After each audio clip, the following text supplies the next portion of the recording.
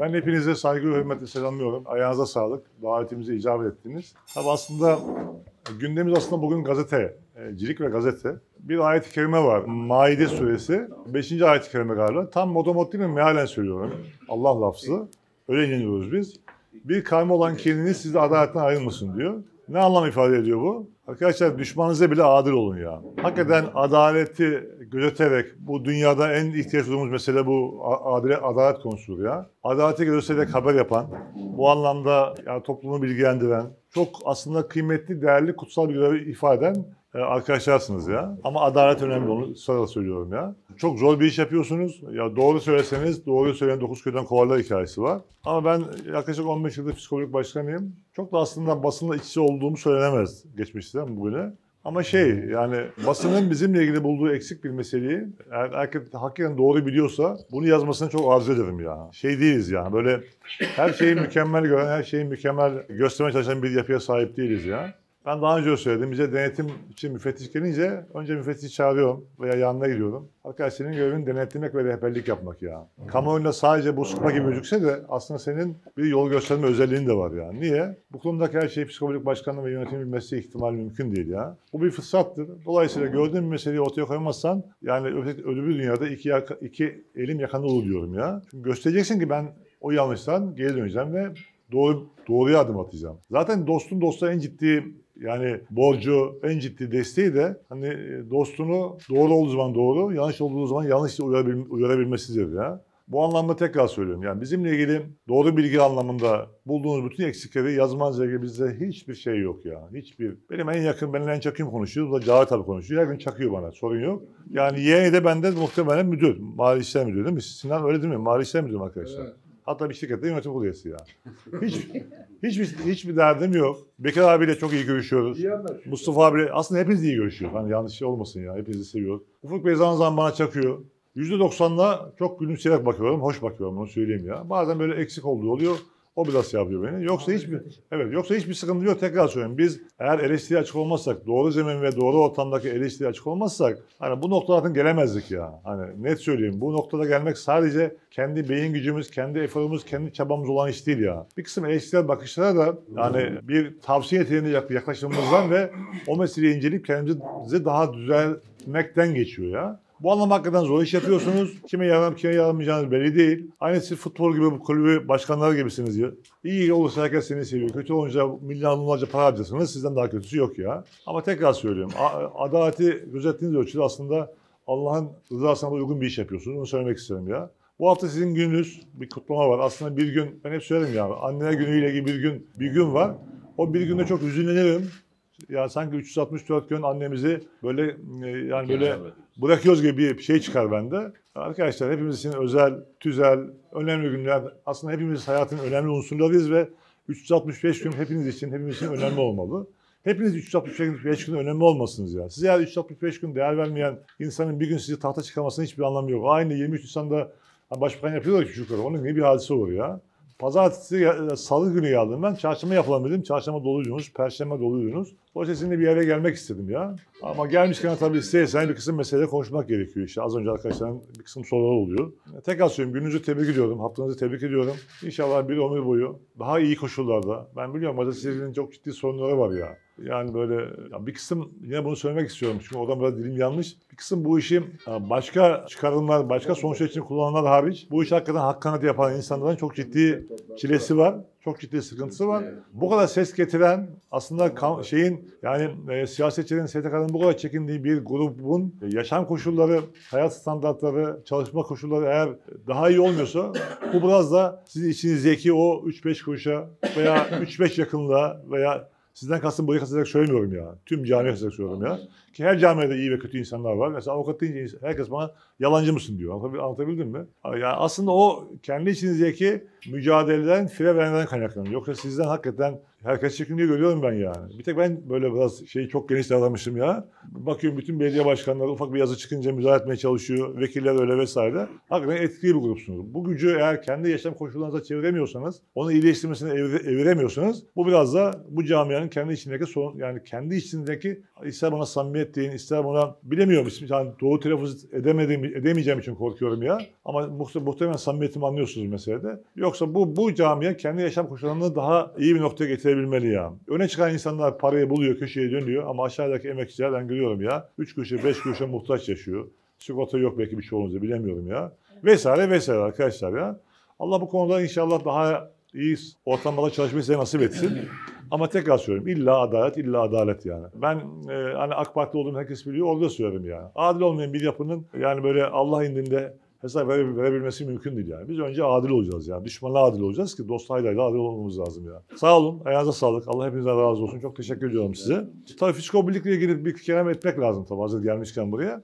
Dün akşam galiba veya sabah mı özel kalem müdürüm bir sabah ben genelde buradayken biraz yürüyüş yapmak istiyorum ya. Tabii kahvaltı olunca özel kalem müdürümle karşılaştık. Oturunca elime şey aldım. Dünkü satışımız dedim. 30 milyon muydu bana gönderdiğiniz? Şok ve Migros. 30 milyon ya. Ya dünkü satışımız 30 milyon sadece ya. Dolayısıyla çok iyi gidiyor Fisko Birlik ya. Bir sürü yeni ürünlerimiz çıkacak piyasaya. Şunların e, hepsi piyasada ve daha da sık olacaklar ya. Ve bunlar bu ürünler her gün yeni ürünler eklenecek. Mesela özel bir çayımız çıkacak. Muhtemelen. çeşit. Yani bana daha önce arkadaşlar şöyle diyordu. 20 ana kalemde 120 barkod diyordu. Şimdi ben bilmiyorum ne, nedir ne değildir ya. Ondan yalancısıyım ben ya. Evet 25 ana kalemde evet. Yani 25 hani barkod sayımız fazla da ana kalem olarak 25 yani. Muhtemelen yakın zamanda bir çayımız çıkacak. Bir çay tecrübesi yaşadık biz Tirebolu 42 ile ilgili. O da Fisko Birliği'nin marka gücünün aslında nasıl bir etki yaptığını piyasada gördük. Dolayısıyla Tirebolu 42 ile yollarımızı ayırdık. Çünkü orada sadece o çayı pazarlayan kurum pozisyonundaydık. Şimdi kendi markamızla yani üretimimizi kendimizin denetlediği bir marka e, oluşturuyoruz. Ne olacak ismi? Çay tanesi diye bir çayımız olacak. Fason üretim ama üretimin bütün yok. Öyle ama üretimin bütün aşamaları bizim kontrolümüz olacak ya. Zaten dünyada şöyle bir şey var. Yani dünyadaki yani mesela en büyük şey kim dünyada? İşte Amazon ya. Amazon'un kendine ait bir tane muhtemelen markası yoktur. Yok. Ha, yoktur ya. Ama denetliyordur ya muhtemelen. Dolayısıyla ha niye çay diyebilirsiniz? Bir aslında Fisko Birlik bir aynı zamanda kooperatif olmasına rağmen aynı zamanda bir ticari işletmedir. Fisko Birlik yani bu kadar kendine umut bağlayan, yani şey ciddi bir ortak kitlesi olan, Türkiye'deki en büyük orta olan birlik. Diğer toplumun tamamından daha fazlayız biz. Bu kadar değerli bir ürüne hitap eden bir kurumun aslında eğer devlet desteği yoksa ticaret yaparak para kazanmak ve ortaklarına ve kendine umut bağlayan insanlara daha fazla destek olmak gibi bir mecburiyeti var, sorumluluğu var. Dolayısıyla biz aslında para kazanabilecek her yola gireceğiz, her yönteme şeye ama anladığımız ölçüde gireceğiz. Ama çay için önemli, gireriz ya ama çay önemli. Çay zaten bizim bölgenin şeyi. Yani şu anda hem çay hem fındık üreten bir sürü üreticimiz var ya. Hem fındık hem çay hem bal üreten bir sürü üreticimiz var. O yüzden bal da var yani piyasaya soktuğumuz bu- bal da var. Dolayısıyla şey arkadaşlar yani iyi gidiyoruz ve e, muhtemelen bir iki yıl içinde yani bu, bu belki de şuradaki banka süresi ikiye katlanacaktır ya. Piyasada çok ciddi bir itibarı var zaten Fisko Birliği'nin. Bunu ticarete çevirmek gibi bir imkan elde ettik ya. Fındık almamız gayet iyi. Daha önce söyledim. Fındık almaya ilgili rakamlara takılmayın. Rakamlar istediğimiz zaman uçurabiliriz biz ya. Ama biz istiyoruz ki aldığınız fındığı işçiye katabilen bir kurum olalım. Dolayısıyla işlemeye yönelik bir alım politikası geliştiriyoruz kendimize göre. Yani nihai mamule yönelik bir politika şey yapıyoruz. Hani bir programa söylemiştim yine söylüyorum ya. Tabii ki biz destek isteriz. STK'lardan, gazetecilerden, siyasi partilerden, hükümetlerden, muhalefetten isteriz. Niye? Çünkü bu kurum bir şahıs işletmesi değil ya. Bu kurum yani Türkiye'nin en büyük üretici kooperatifi, dünyanın en büyük fındık üretici kooperatifi ve çok geniş bir hinterlanda etki ediyor. Bir geçmişte bir kısım sıkıntı yaşanmış olabilir. Yaşanmıştır doğru ya. Ama sonuçta bugüne bakmak lazım ya. E, bunu hep söylüyorum arkadaşlar. Yani bunu üstüne basa basa söylüyorum ya. Şu anda Giresun'daki siyasetçiler, diyenler var ayrı dava. Karar vericiler, etkili insanlar gelip bize bak şey istemiyorum. Sadece Giresun'daki gayrimenkullerimize rahat değerlendirme imkanı verseler bak vallahi de tarla ediyorum ya. En az 500 kişi daha işe adam alırız ya. 500 kişi. Yani daha önce söyledim 500 kişi arkadaşlar yani 500 aile demektir. Muhtemelen yani o 5 2500. Demektir ayrıca o 5 kuşu üretince işte nakliyesi, osu, busu vesaire şeydir ya. Ben hep söylerim. e, Bizde Hasan Türkmen var nakliyeci. İlk zamanlar böyle nazlanıyorduk birbirimize ya. Ama şimdi hani psikolojik bizi bırakmasın diye e, adam her türlü özveri gösteriyor. Niye? Çünkü çok iş yapıyor artık adam bize. Nakliye yapıyor ya. Her gün bilmiyorum kaç tane kamyon çıkıyor buradan ya. Ama net tekrar söylüyorum. Bu konuda muzdaribiz. İstisnalar mutlaka var. Bunu hep söylüyorum, hep söyleyeceğim. Muhtemelen 6-7 yıl sonra daha güçlü söyleyeceğim ya. Yani olsam da olmasam da. Arkadaşlar sivil toplum örgütleri, STK'lar, siyasi partiler. Ya arkadaşlar şeyde Giresun'da, Giresun'un başka bir şeysi mi var ya? Yani özel olabilir ama Giresun'un hem kamu niteliğinde haz ettiğiniz hem de genç kitleden başka bir, bir mi var ya? Dolayısıyla Fisko Birliği'nin bana gelmesi lazım herkesin ya. Arkadaş istihdamı artırmak için hangi katkıyı sunmamız lazım? Bak bana, bana bunu Sakarya'da söylüyor. Bana bunu Düzce'ye söylüyor. Bana bunu Ordu'da söylüyor ya. Ordu'nun Büyükşehir'de Altınordu Belediye Başkanı geldi. Dediler ki başkanım yatırım yaparsan bizim bölgeye biz hazırız her şeye. Hatırladın mı ya? Geldi insanlar. Düzce'ye geliyor. Sakaryat'ın yani sürekli sistem ediyor ya. Başkanım niye bize yatırım yapmıyorsun diye. Biz istiyoruz ki psikolojik burada. Hakikaten burada kalmalı. Kal, kalacak da ama daha güçlenerek kalmalı ve daha burada kalmasından kaynaklanan bir kısım ekstra avantajlarla kalmalı ya. Burası öyle. Orası öyle. Bulancak öyle. E kardeşim hani böyle ne, olacak bu işin sonu ya? Biz net söylüyorum. Bu sene ödediğimiz faiz ne arkadaşlar? 40 milyon faiz ödemişiz ya. İkisi beraber mi tek mi? 40 milyon ya. Bak 40 milyon faizi borcu ödemiyoruz biz ya. Ama satıyorsun ve o bir süre geçiyor ya. 40 milyon faiz. Ya 40 milyon faiz. Şimdi arkadaşlar bir kısım arkadaşlar bu fiskobilinin arazilerle ilgili meseleyi yaparken efendim kuruma sahip çıkıyoruz. Malımıza sahip çıkıyoruz. Satılır deniyor. Hani bunu bir şey hedef için söylemiyorum ya. Özelden yanındaki araziye çatı çatı sattılar. Şu an oraya bina yapılıyor ya. Orası Giresun malı değil miydi ya? Mesela böyle bakacaksak ya. Evet orası Giresun malıydı. Yani özel idare ait değil miydi orası ya? Özel idare Giresun tamamen şamil bir yapı değil mi ya? Satıldı ama. Ve kimse de bir şey demedi ya. Ama mesele fiskobilliğe gelince yıkılıyor ortalık. Ya şu olabilir arkadaşlar. Hassasiyet olabilir. Acaba buradan elde edecek kaynak neye gidecek denebilir ya. Bu çok normaldir. Oturur konuşursun. Kaynak adresini gösterirsin. Yani projeye göre yani dersin kardeşim biz bu projeyi yapacağız ama senin de ne yaptığını bir görelim. Ben bazen yapıyorum onu ya. Biriyle iş yapacaksak arkadaşlar önce bir yaptığını görelim sonra para verin diyorum. Anlatabildim mi ya?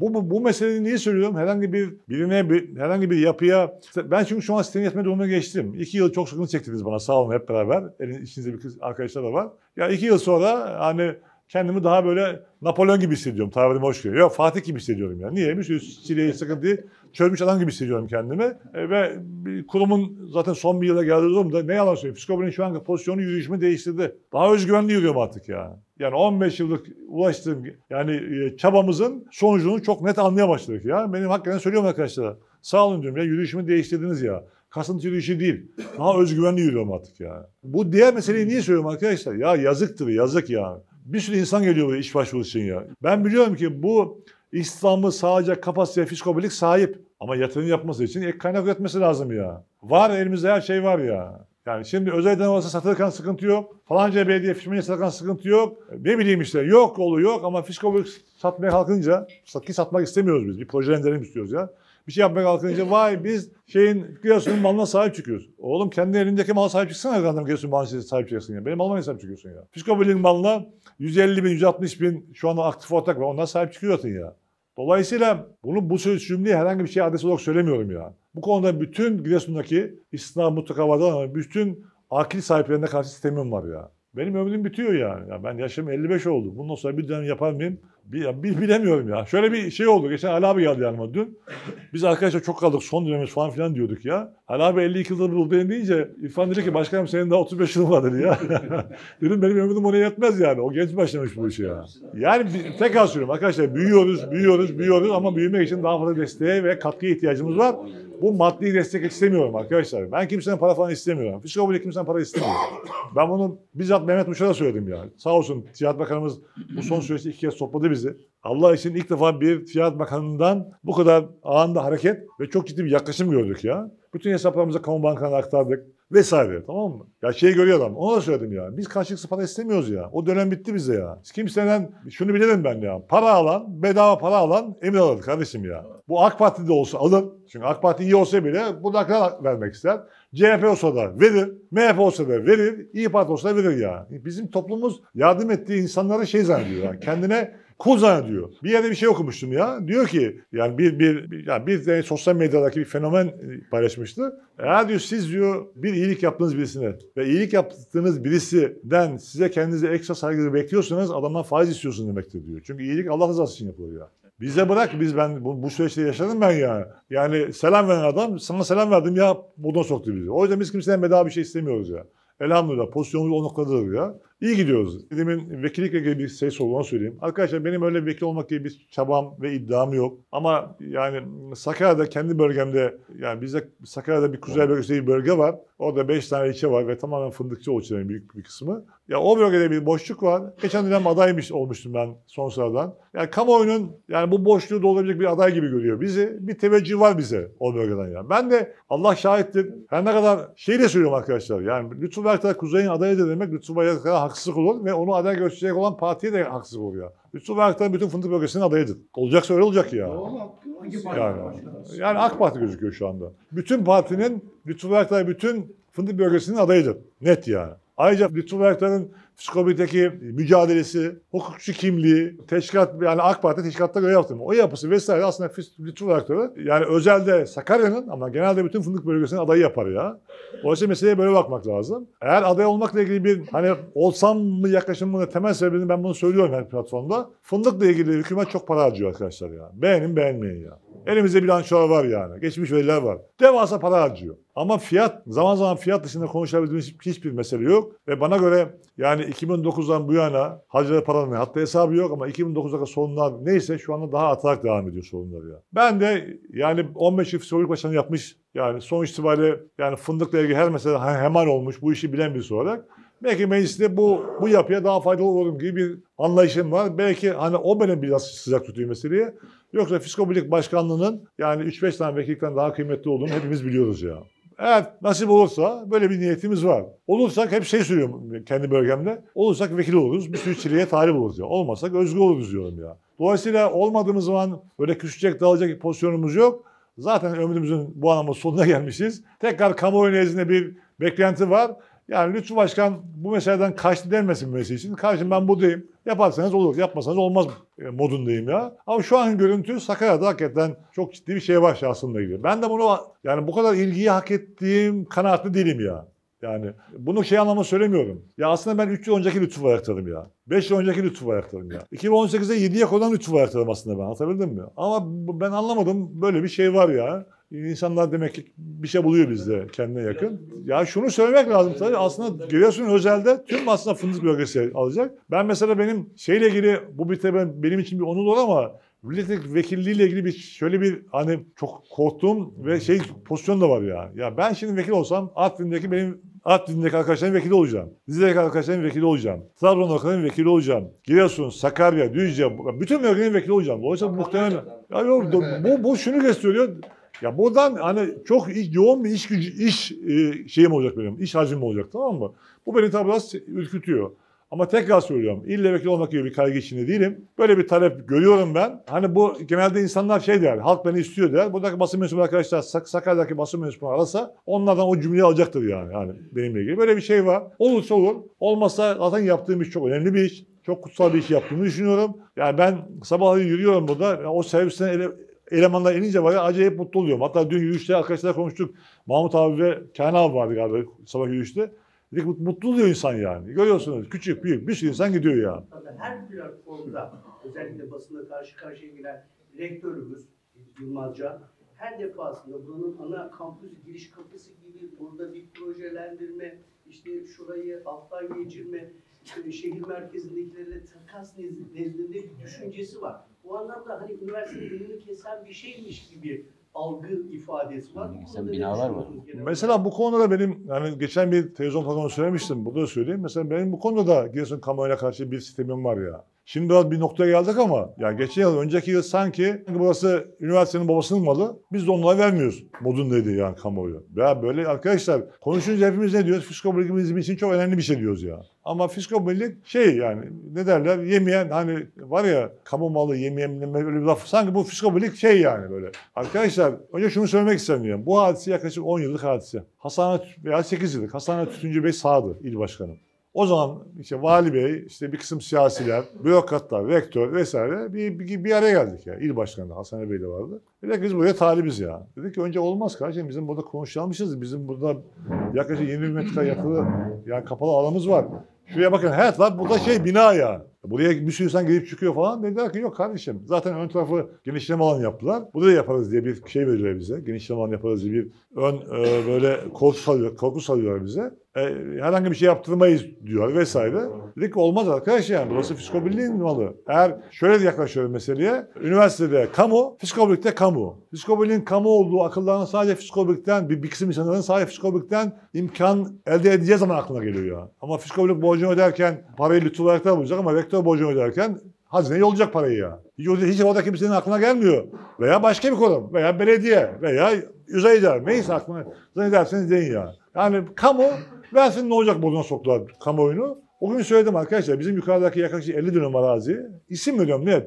O dönem Nurettin Canekli Bey kardeşim ikisi olursa başka türlü olmaz dedi. Bizim eski genel müdür yardımcımız, şey yönetim üyemiz Nihat Şahin, eski genel müdür Mehmet Sarkın, benden habersiz Mehmet geldi il başkanına söz verdi yukarıyı. O dönem tabii çok zordayız, dardayız. Kimseye kötü olmak istemiyoruz, borcumuz çok. Yukarıyı o günkü rakamla bir fiyata verdik ama hani nasıl söyleyeyim? Hani bir kamu kurum arasındaki alışveriş gibi değerlendirdik ve meseleyi zorlamadık ya. Ama net bir siyasi baskı olmuştu üzerimize ya. Dedim ki arkadaş biz o zaman zaten bunu verdik yani. Fisko Birlik eğer üniversiteye bir katkı sunacaksa 50 dönüm arazi ve yukarısı en, bu ilin en kıymetli arazisi ya. Verdik zaten. Lojmanlarımızı verdik ya. Orada lojmanlar var onun içinde ya. Bundan sonra Fisko Birlik'ten bedava bir şey istemeyin dedik. Tamam dediler alalım. Baktık ki yani hani hırsızı tutmuş adam. Diyor ki işte ev sahibi getir hırsızı e, gelmiyor. Bırak bırakmıyor. Baktık ki ne burayı bize verecekler ne de buraya alacaklar yani. Affedersin burayı tabirime hoş geldin. Munda edecekler burayı bizim, bizim adımıza ya. Tabii çörek edecekler ayrı daha da munda edecekler ya. Dedik ki bari şey yapalım yani buradan. Hani karşılığımıza alalım. Artık odan vazgeçtik de dedik ki şey yapalım. Çünkü buraya bir çivi çakamıyorsun ya bu olunca. Dedik ki bari buranın bedelini alalım da başka bir şey yapalım ya. O süreçte defaatle bir araya geldik. Bana işte önce para veririz dediler. Şu an paramız yok dediler. Sonra işte şurayı verelim dediler. Burayı verelim dediler. Biz yani buranın meselesi uzamasın diye aslında her yaklaşımlarına olumlu cevap verdik ya. Tamam arkadaşlar oturup konuşalım dedik ya tamam mı? Ama bu geçen medyayla özel görüşmesinde rektör beyin bir kısım beyanatlarını duydum ben. Hatta ona bir e, şeyde de cevap verdim ama yani bütün bunlar ya bizim yerimiz bir kuruş para vermiş değiller. Hiç meseleyi çözecek bir yaklaşıma gelmiş değiller. Gösterdikleri yerlerin hiçbiri ondan yeri değil. Tamam kardeşim çözün gelin demişiz, siz daha gelmemişler. Ama fiskobirlik hani aslında üniversite her şey yapıyor da fiskobirlik yapmıyor. Bir kere kardeşim sen yani fiskobirlik kendi başına bir şey yani. Ben vermem, vermem, veririm, veririm yani. Bunun bir suç olarak sorgulaması mümkün müdür ya? Yani üniversitesi, üniversitesi bak işine diyelim ya. Böyle dememişiz ya.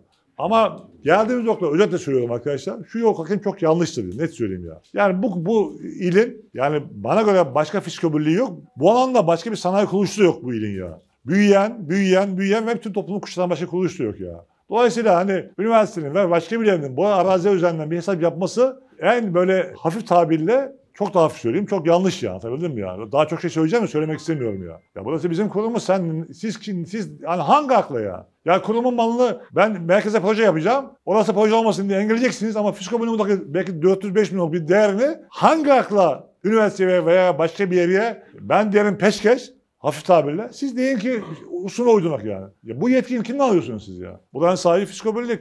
160 bin ortak. Delegesi var, osu var, osu var. Ve bir kısım insanların yani tek başına karar veriyor dediği bir ortam vardı. Cümle hatırlıyorum onu. Ve buranın başkanı %99 oraya seçiliyor ve iki dönemde de tek lise giriyor buraya. Anlatabildim mi ya? Tek lise ya. Siz hangi akla ya? Ama maalesef böyle bir yargı var. Ama son nokta, geldiğim noktayı söyleyeyim. Bundan sonra fiskobirliğin kimseye verecek bir santimetre yeri yoktur ya. Masaya oturmam daha kimseye ya. Evet herkes işine bakacak. Eğer el bir şey istiyorsa ve şeyin, üniversitenin kamu gücü var. Kamu yararına kamulaştırma gücü var. Tamam o gücünü kullansın kullansın. O yapacak bir şey yok. Kanun böyle diyor. Ama bizim daha bundan sonra kimseyle bu konuda masaya oturmak gibi bir şeyimiz yok. Zaten biz büyüyoruz ve büyüyeceğiz ya. TMO fındık alımını durdurdu. Bu piyasayı nasıl etkiler? Fiyat dengelerini bir değerlendirir misiniz bundan sonraki süreçte? E, Sizin bir tavrınız olacak mı, bir açıklamanız olacak mı?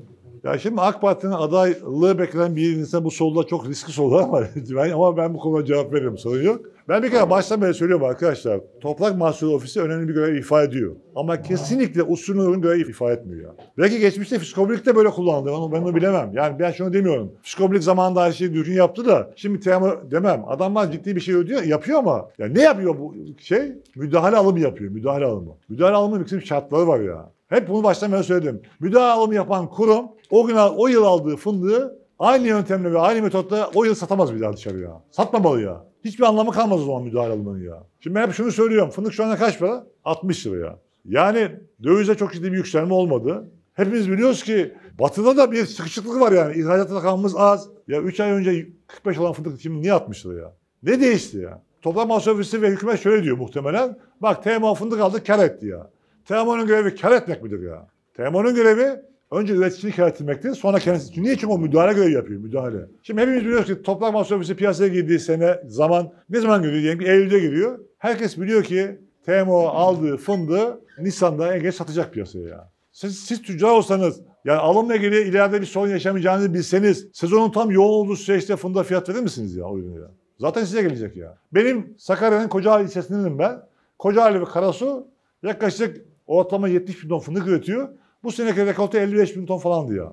Hepimiz biliyoruz ki fındık üreticisi fındığı yani Ağustos 20'den sonra başlar indirilmeye Eylül'ün sonuna kadar %60'ı fındığı iner piyasaya. İner mi? İner ya. Bizim orada genelde Ağustos'un sonuna başlar ya. TMO ne zaman almaya başladı arkadaşlar? Eylül'de başladı. Eylül'ün birinde. Karasu ve Kocaeli'de bir, bir tek alım yeri vardı. Ve şey neydi? Günlük alım şeyi kotası 50, bin- 50 ton ya. Çok yoğun baskıyla 100 ton yapıldı ve bizim siyasetçi arkadaşlar 100 ton çıkardık diye beyanda bulundular. Tamam mı? 100 ton. Hafta sonu çalışmıyor. Hafta sonu çalıştığını varsayalım arkadaşlar ya. Bir ay çalıştı. Yani o Ağustos 20'den Eylül sonuna kadar ürünün %60'ı iniyor. O 40 günlük sürede 100 tona çıksa alacak olduğu fındık hafta sonu çalışsa bir 4 bin ton fındık ya. Ne kadar fındık vardı rekorda? 55 bin ton. %60'ı piyasaya iniyor muydu? İniyordu. Ne yapar %60'ı? 30 bin ton fındık ya. Şimdi sanayici aptal mı? Görmüyor mu? 30 bin ton fındık piyasaya inecek. Bunun müdahale ancak 4 bin tonun ağır.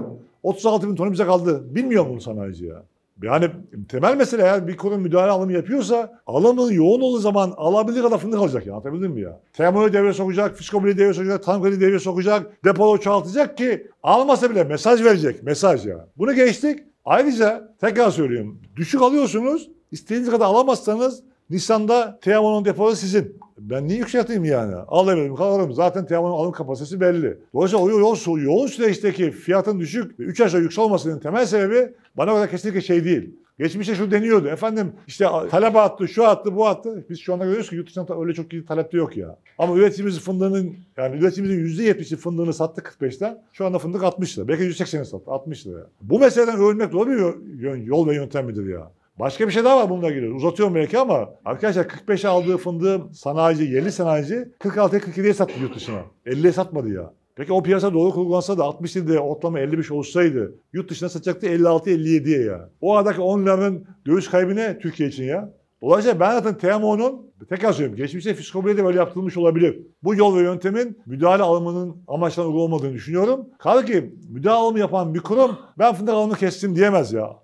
Almayacaksa bile diyemez anlatabildim ya? Ama diyor biz şimdi hepimiz biliyoruz şu anda piyasada fındık kaç para kalmış fındık? 150 lira. TMO şu anda 110'dan fındık satıyor. TMO 110'dan ya. Ya arkadaş kimse de demiyor. Bir dakika sen kim malını kime veriyorsun demiyor ya. Bir kere şunu söylemekle fayda var. Fiskobilik müdahale alımına talip değil arkadaşlar ya. Net ya söylüyorum ya. Yani hep bunu söyledim talibiz diye. Ha biz daha iyi. Evet biz müdahale alımını daha iyi yaparız. Daha ucuz yaparız. Ama müdahale alımına talip değiliz yani. Eğer devlet ihtiyaç duyarsa biz buradayız ya. Niye değiliz? Çünkü biz artık ticaret yapmayı öğrendik. Biz kendi paramızı kendimiz kazanmayı öğrendik. Biz insanın kendi kazandığı paranın kıymetini bilmesini öğrendik. Bizim parayla ilgili kimseye ihtiyacımız yok artık ya. Biz bir daha buradan geri dönmek istemeyiz ya. Net ya. Ama böyle bir görev verilirse tabii ki üretici adına yaparız. Bu başka bir şey. Biz geçmişten bugüne bu yol ve yöntemle ilgili biz daha iyi yaparız, daha ucuz yaparız, üretici daha mutlu olur derken bir kısım insanlar şöyle yaydı piyasa. Sanki biz mecburuz. Yani kendimize iş arıyoruz falan filan. Yok arkadaş ya biz istemiyoruz ya. Biz yani bir kooperatif gibi davranmak istiyoruz. Kooperatif hem ortak alan faydası olacak hem de yaptığı ticaretten para kazanarak güçlenecek yani. Biz şu an bunu yapıyoruz ve bundan memnunuz ya. İlk vaadiniz ne olacak e, milletvekili aday adayı olarak? Ben siyasetle ilgili bir vaat yapmayı düşünmüyorum ama şu olur vaadim. Ben fındıkla ilgili bütün meselelerde çok net bir şekilde sesini çıkaran bir adam olacağım ya. Aslında yine yapıyorum şu an. Demin demin yaptığım konuşmalar bir AK Partili adaya yakışan yani adaydan beklenen bir konuşma değil ya. Ama ben yani kendi il- ilimde de burada da beni insanlar sevenler böyle sevdi beni anlatabildim mi ya? En zor zamanda bile insanlar Lütfü Bayraktar'ın adaletten şüphe duymadılar. Benim yakındaki arkadaşlar anlatabildim mi ya? Lütfü Bayraktar'ın doğru söylemesinden şüphe duymadılar ya. Beni sevenler öyle sevdi ya. Bazen bana bölgemde arkadaşlar diyor ya başkanım diyor bunları söylemesen diyor ya. Diyorum ki şu anda bana bölgede ilgi var mı? Var. İşte bunları söyleyen Bayraktar'a ilgi oldu. İşte anlatabildim mi ya? Evet sıkıntı çektim belki ama insanlar süre içine baktılar ki ya bu adam mesele varsa, problem varsa kimseden şey yapmıyor. Anlatabildim mi? Başkanım gelen fındıkların hepsini al- alıyorsunuz. Biz zaten bize gelip de eğer bir adam fındığı geri dönmüş diyen varsa gelsin bize ya. Biz bütün fındığa talibiz ya. Net söyleyeyim. Ama şunu demiyoruz biz ya. Kardeşim yani bütün fındığı bizim ancak gücümüz var demiyoruz. Ama bütün fındık bize gelirse zaten o güç her dünyada bize demektir. Bu bir iki. Bize gelip de dönen bir fındık yok şu anda. Her gelen fındığı almaya hazırız ya. Hatta Gidip almaya razıyız ya. Ben net söyleyeyim. TMO'nun baştan beri uygulamasının yaklaşık son 5 yıldan beri, son 10 yıldan beri uygulamasının belki geçmişte fiskobilik için de geçerli bu. Yani müdahale alanının kurallarına uygun olmadığını ve üretici parası olmadığını düşünüyorum. Ha şu şu bir arkadaşlar bunu söylemek lazım. TMO'nun piyasaya girmesi etki ediyor mu? Tabii ki ediyor ya. Atıyorum 30 ediyorsa 45 ediyor. Ama makul olması gerekeni, gerekeni etmiyor. Bu kadar yoğun bir para harcanmışsa aslında o sonucu elde, elde etmek için çabalamak lazım ya. Bu bir. iki efendim ben diyorum ki Nisan'da satmasınlar. E diyor çürütsün ya? Ya çürütmesin kardeşim ya. Aldığı gibi satmasın.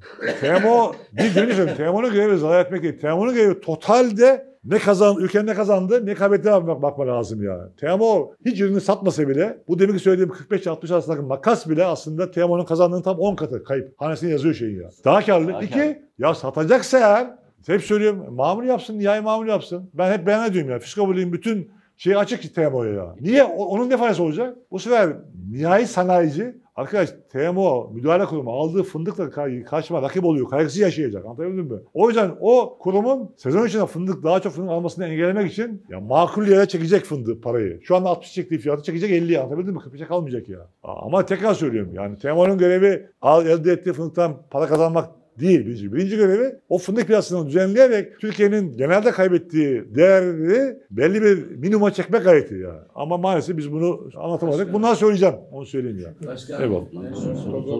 Atatürk Bulvarı'ndaki bina olan, ondan önce bir proje vardı. O ne durumda? İkincisi, ikincisi Ulancak organize sanayindeki e, çalışmalarınız vardı. Evet. Yani o, o konuda bir İki şey abi. O merkezdeki yer ben tekrar söylüyorum.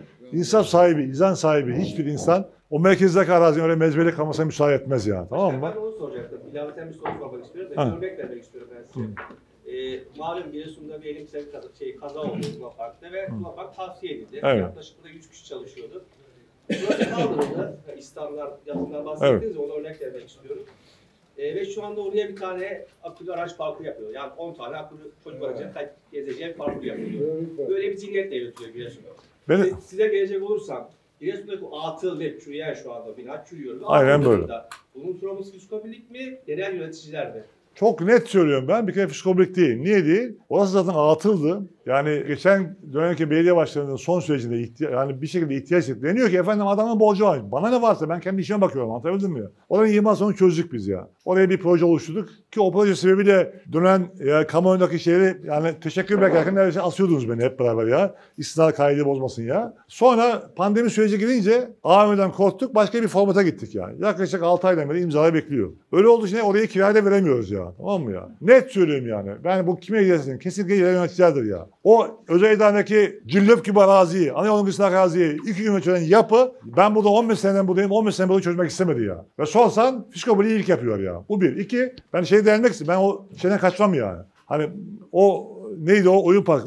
Ben bir ona bir bir şey söyleyeceğim. Bir şey söyleyeceğim. Ben söylüyorum onunla ilgili. Hani o söyleyeceğim ya. Ben ona da karşıyım. Bu şey yıkıldı ya. Liman ona da karşıyım ya. Niye? Her ikisi de mevcut ekip zamanında devam ediyordu tamam mı ya? Yani yani her ikisi de Niye yaptın yapacağını? Aynen öyle. Her ikisi de bak. Luna Park'ta öteki de mevcut yapı zamanı devam ediyordu ya. İşimize gelince yaparız, işimize gelince yapmayız zihniyeti AK Parti ile zarar veriyor, topluma da zarar veriyor, milli de zarar veriyor, milletin adalet duygusuna zarar veriyor. İkisine de karşıyım arkadaşlar. O iki konuda da net söyleyeyim ya, şeyin yanındayım. Bak ben tekrar söylüyorum. Özellikle Luna Park'la ilgili hep söyleniyor. Ruhsatı yokmuş, şuymuş, buymuş falan. Bunlar doğru olabilir. Olabilir. Ya kardeşim senin zamanında çalışkan da öyleydi onlar. Öyleyse anlatabildim mi ya? Küs olunca mı aklınıza geldi meseledeki adalet aramak ya? Ne diyor ayet-i kerime? Düşmanına bile adil ol. Anlatabildim mi? Net yani bu hiç bu konuda çekinen lüzum yok yani. Evet o orası öyle mezbele kalıyorsa böyle bir şey olur mu ya? Tadilat projesi 6 aydan beri bekliyor orada. Belediyede yani. 6 aydır. Peki size sunulan şart ne başkanım? Bize bir şart sunduğu sunduğu yok ya. Ben burada şeyim arkadaşlar net söylüyorum. Giresun'da fiskobikle ilgili öncelemeyen her mesele Giresun'a zarar veriyor ya. Her mesele ya. Bulancak'la ilgili e, söyledi. Bulancak'la ilgili yani bir kısım destekle yer almak için 3 kooperatif ayırdık orayı, 3 arsayı. Piraziz, Bulancak ve Keşap. Dolayısıyla hatta geçen hafta yine oranın genel işte yapım ile ilgili bir firmaya görüştük. Yani orayı yapacağız arkadaşlar net ya. Yapacağız.